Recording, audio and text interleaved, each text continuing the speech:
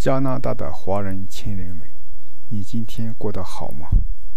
今天是二零二二年的第一天，也是新年元旦。我在此祝全球华人新年快乐，祝你万事如意，福伴福随，笑口常开。让我们一起面向未来，祝福国泰民安。新年新气象，梦想再出发。下面我们看一下元旦文化。首先看一下元旦的由来。元旦是中国的传统节日。所谓的“元”，就是所谓的“始”，凡数之始称为元，也就是开始；“旦”就是平常所说的日。元旦意味着初始之日。最早出现于纪述，孟夏正月为元，正朔元旦之春，即把正月称为元，初一为旦，所以新年的第一天为元旦。元旦最开始并不是新年的第一天，平常在我国古代指的是农历的大年初一。也就是我们中国的传统节日春节这一天，在辛亥革命后，国民政府大力推广西方文化，就把元旦的日子改了。在一九一二年，孙中山先生为了行夏政，所以顺奴时从西历，所以变统计，于是下令停止使用奴隶。改用西方国家通用的公元纪年，也就是我们现在使用的公历。这个公历是从一九一二年开始的，中国开始庆祝元旦。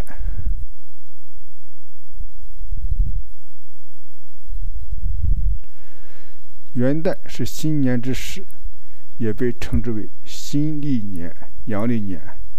元旦又称为三元，即岁之元。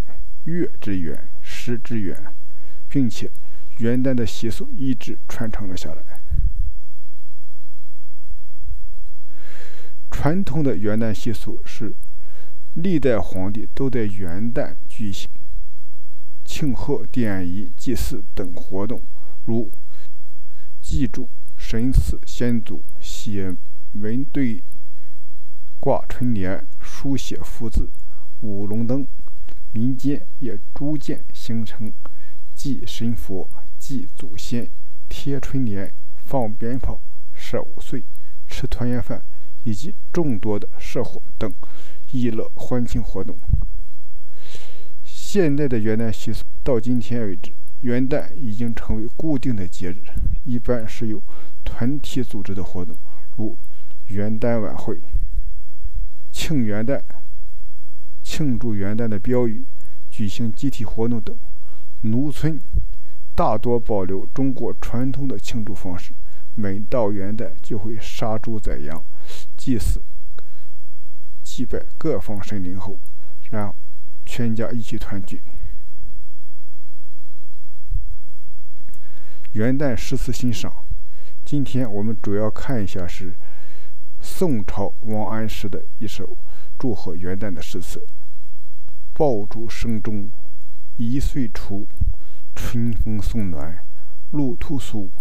千门万户瞳瞳日，总把新桃换旧符。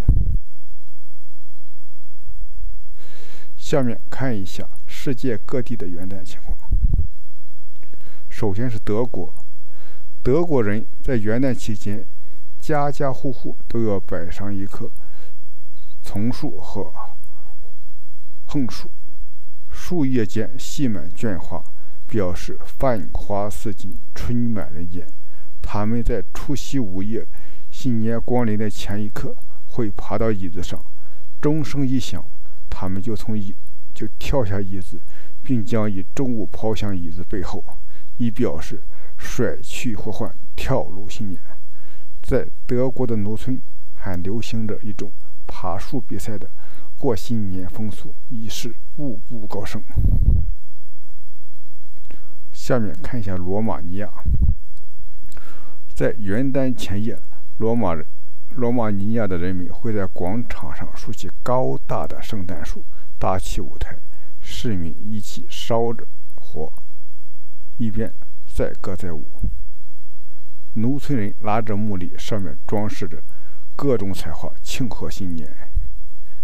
朝鲜，朝鲜的情况和我国基本一样，也在新年有贴窗花、桃符的习惯。以祈求上天保佑，驱走鬼怪，赐给幸福。泰国，泰国是泼水节，在新年的第一天，泰国人都在窗台门口端放一盆清水，家家户户都要到户外江河中去进行新年沐浴。瑞士。瑞士人有元旦健身的习惯，他们有的成群结队去爬山，站在山顶对面对冰天雪地，大声歌唱美好的生活，以健康来迎接新一年的到来。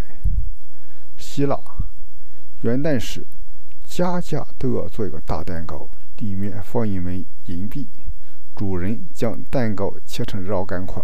分给家人或来访的亲朋好友，谁吃到带有银币的那块蛋糕，谁就成了新年最幸运的人。大家都向他祝福。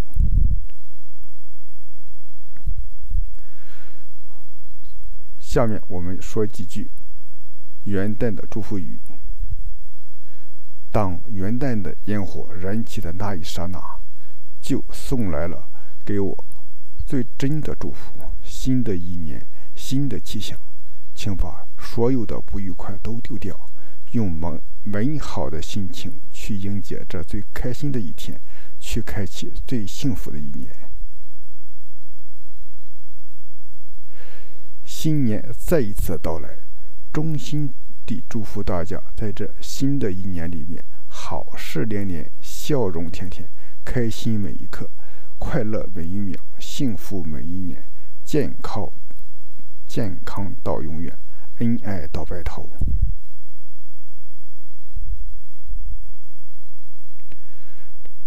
让思念叠成信札，拜托给大雁飞来送给你，把祝福叠成小船，捞流淌的溪水再来给你，把我的关心拼成礼物，愿这新年的春风可以带去给你。我最重要的朋友，新年快乐！日子酸酸甜甜，人生忙忙闲闲，缘分深深浅浅，联络天天年年。对你的惦记是时时刻刻，带去的祝福却不曾递减。最亲爱的朋友，又是一年新年到，对自己好点，别忘了。我永远都在，永远都爱。如果朝阳是新生的力量，那就会突突奋斗的人生前进；如果初恋是蒙蒙的情愫，那就会永远牵绊相爱的人心上。元旦是新年的第一个开始，带来你所有等待人的祝福，朋友，新年快乐！祝全体华人新年快乐，万事如意！再见。